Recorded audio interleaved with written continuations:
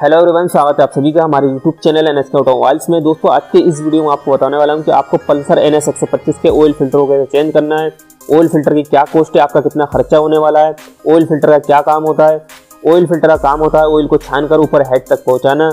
जब हम अपनी गाड़ी की सर्विस कराते हैं, गाड़ी के अंदर नया इंजन ऑयल ऐड करते हैं तो हमें इंजन ऑयल के साथ साथ ऑयल फ़िल्टर भी ज़रूर चेंज कराना चाहिए। इसके अंदर काफ़ी सारा डर्टी ऑयल होता है। तो हमें हर सर्विस पर ऑयल फ़िल्टर को चेंज कराना चाहिए। अगर आप ऑयल फ़िल्टर को चेंज नहीं कराते हो तो एक टाइम ऐसा आएगा ऑयल फ़िल्टर बिल्कुल ब्लॉक हो जाएगा, इंजन ऑयल ऊपर हेड तक नहीं पहुँचेगा और हेड के अंदर जो पार्ट्स लगे होते हैं, वो सारे ख़राब हो जाएँगे। हेड काम नहीं करेगा और गाड़ी बंद हो जाएगी।